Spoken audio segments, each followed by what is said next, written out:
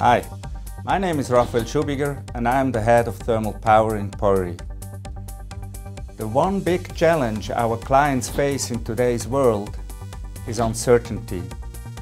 Now uncertainty has three main elements. One is increasing pressure on electricity prices and very volatile fuel costs.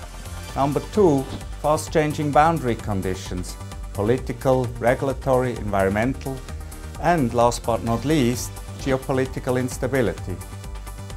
Our clients come to us because we have the most complete offering.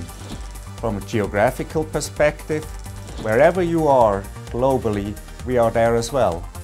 Technologically, we can cover everything from geothermal, waste to energy, coal, gas, oil, you name it. And number three, also from a service offerings perspective. We offer services right from the start, where the first thought crosses our client's mind, up to the last stone being removed after a power plant is decommissioned and demobilized. Now I'm really interested how we can help you.